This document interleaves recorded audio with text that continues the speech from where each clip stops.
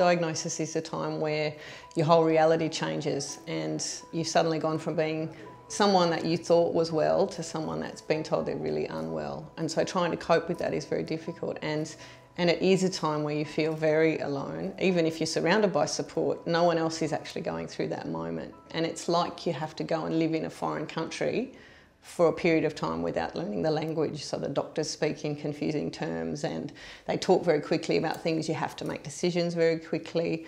And all of that is it's stuff that you've never thought about before. So I often talk to patients about the fact that it's a little bit like, you know, we give you this information and it's like we're standing you on the edge of the beach and we, we show you where we need you to go and it's to an island that's over in the distance and you can just see the island but when you ask how, how am I going to get there we say well here's a little coracle or a little semicircular boat that you have to stand up in and row and if you just get yourself over to there we'll be there ready to do your surgery you know and then we disappear and you're left for three or four days trying to work out how to work this boat and how to get there you know, it's a really difficult time. It's an unfamiliar circumstance. So it's very, very normal for people to feel very anxious about it and very alone.